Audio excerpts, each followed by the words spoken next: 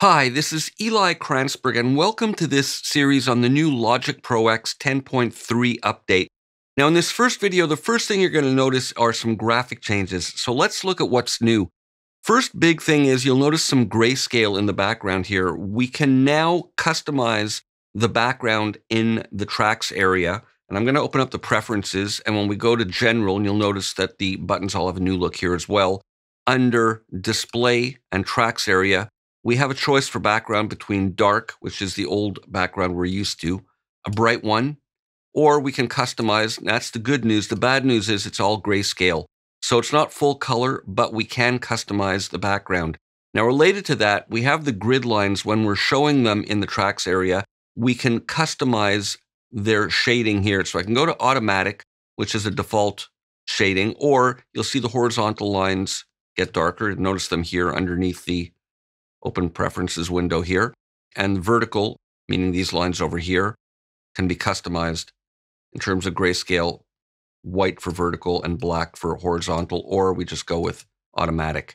Another really nice graphic enhancement is we now have a ghost waveform display in the audio regions when we're editing their lengths. So for example, here's some audio regions, and as I drag the boundary, you'll see that we have shaded the part of the audio file that's not being shown in this current region. So that's a really useful editing tool in that we can see what's coming up ahead. Like if I know I want to edit, let's say to that transient there, I can go and release the mouse by seeing exactly where it is. I can pinpoint my region trimming a lot more accurately. So that's a really nice feature.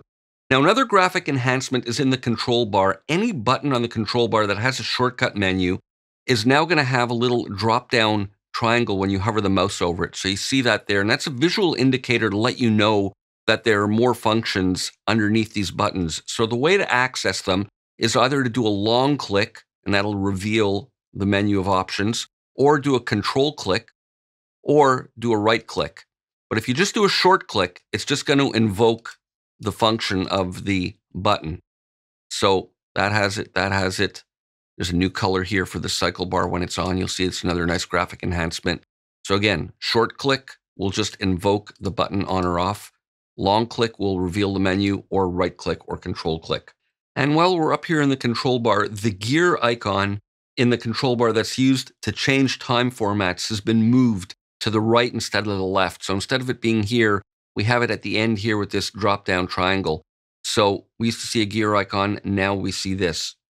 Now, another nice new graphic enhancement is metronome icon animation. When this is on, you'll see the pendulum actually swing back and forth depending on what beat of the bar the playhead is at.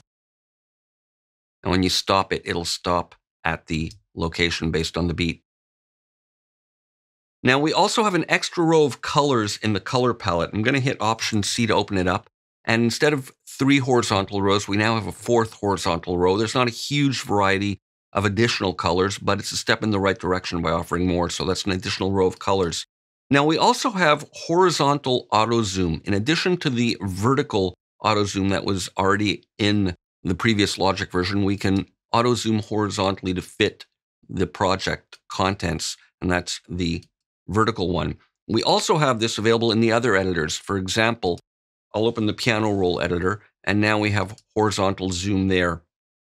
And we have it in the step editor as well. Here I've got both the vertical and horizontal zoom.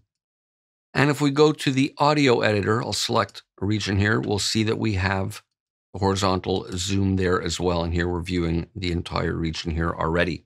And right next to it, we have the vertical zoom to zoom the waveform in where we get a slider, but that's been there already.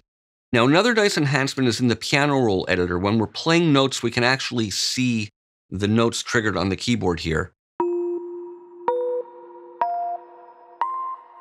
So let's look at a quick summary of these new enhancements. We now have grayscale options in the tracks area that are available in the preferences in the display tab, the tracks area. And we can also customize the grid lines in that same location. We have ghost waveform editing of audio regions same thing with MIDI regions. We can see what's before or ahead when we're dragging regions with additional data in it. And in the control bar, any button on the control bar that has a shortcut menu now has a little downward pointing triangle as a hint that there are additional functions and we can right click on it or control click or long click. The gear icon in the control bar to change the time formats has been moved to the right instead of the left, and it's now a downward pointing triangle instead of the gear icon. There's a new metronome icon animation and new graphic display for when we're resizing the cycle region using the shift key. There's an extra row of colors in the color palette, and we have additional horizontal zoom now available in the audio track editor, piano roll, and step editor. And there's also vertical zoom now available in the step editor. And as well in the piano roll, we can now see which notes are being triggered live in real time on the piano roll keyboard that's on the left. See you for more in the next video.